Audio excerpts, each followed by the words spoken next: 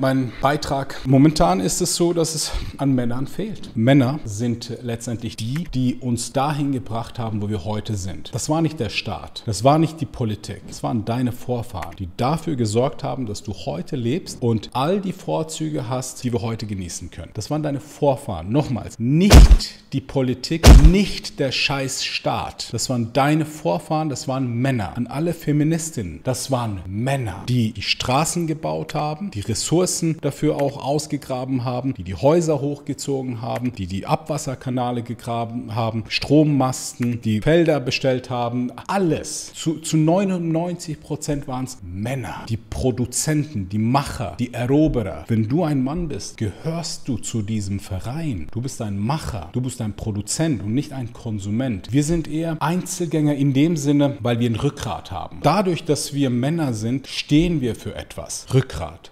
Testosteron ist die Basis dafür, dass du überhaupt männliche Emotionen entwickelst. Männliche Emotionen sind Rückgrat, Mut, Durchsetzungskraft, Gerechtigkeit durchsetzen. Das sind männliche Attribute. Männer tun das. Männer erobern. Männer stehen gerade für etwas. Männer produzieren. Wir sind die Schöpfer der Welt. Wir sind die Schöpfer. Die Frauen, die geben nur das weiter, was wir ihnen geben. Das ist die Rolle. Das ist die, die Mann-Frau-Rolle. Und in dem Moment, wo man dir dieses Signalhormon wegnimmt, also wenn ich das ausschalten könnte, dann kannst du zuschauen, wie im Grunde genommen deine Gehirnfunktion sich verändert, deine Gesundheit sich verändert und unterm Strich du dann entsprechend denkst, was ist mit mir los? Du bist ein Schatten von deiner selbst. Wir Männer sind die Konkurrenten. Dieses Wettbewerbsdenken bleibt bestehen, auch wenn du eine Nullnummer bist und nur noch Östrogen produzierst, so dass die Milchdrüsen anfangen auch zu produzieren bei dir. Unterm Strich ist es dann plötzlich so, dass die Männer, die einen tiefen Testospiegel haben, mit Hängebrüsten rumlaufen, unselbstbewusste Stimme haben, bei denen ist es so, die versuchen dann trotzdem besser dazustehen als die Männer, die männlicher sind. Dann wird die Männlichkeit angegriffen von denen. Wenn du sagst, in meinem Freundeskreis ist es so, dass ich nicht so reden kann, wie ich es gerne tun würde, weil alle anderen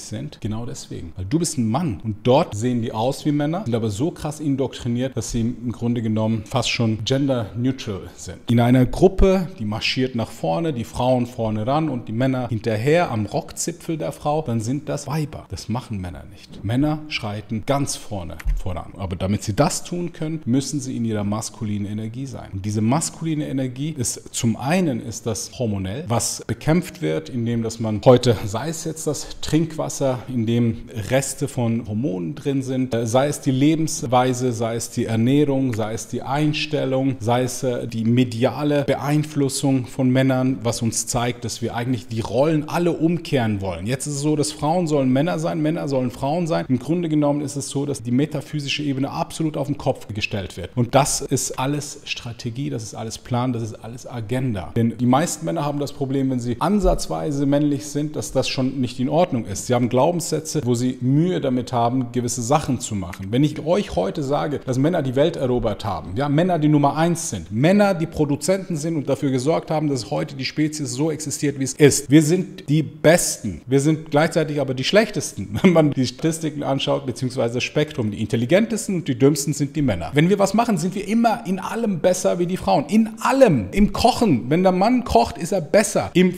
Twerken ist es so, dass der Mann dann besser ist als die Frau, weil Männer sich fokussieren und spezialisieren können. Wir sind Problemlöser. Wir sind die Besten und die Schlechtesten. Die Frauen finden sich in der Mitte des Spektrums. Und wenn ich solche Sachen sage, triggert es einige von euch, besonders die, die indoktriniert wurden durch Jahre, indem dass man sagt, so Sachen sagt man nicht. Mann und Frau sind gleich. Nein, sind sie nicht. Sie sind absolut grundverschieden. Grundverschiedener geht es gar nicht. Und diese Verschiedenheit ist wunderbar. Diese Rollenverteilung erlaubt es uns, dass wir im Grunde genommen auch durch diese Polarität eine stabile Beziehung, eine stabile Gesellschaft hinbekommen können. Wir sind nicht gegen Frauen. Frauen sollen die gleichen Rechte haben, aber sie sollen aufgeklärt sein wie die Männer über Konsequenzen im Leben, sofern man die nicht früh genug beachtet. Und man sollte die Menschen nicht anlügen. Schaut mal, in welche Richtung Hollywood versucht, euch zu pushen, was im Grunde genommen akzeptiert werden sollte. Dinge, die nicht normal sind. Bitte, wenn ich das sage, nicht normal, dann meine ich das nicht beschämend oder beschimpfend. Jeder soll machen, was er gerne möchte und jede soll soll machen, was sie möchte. Aber normal steht für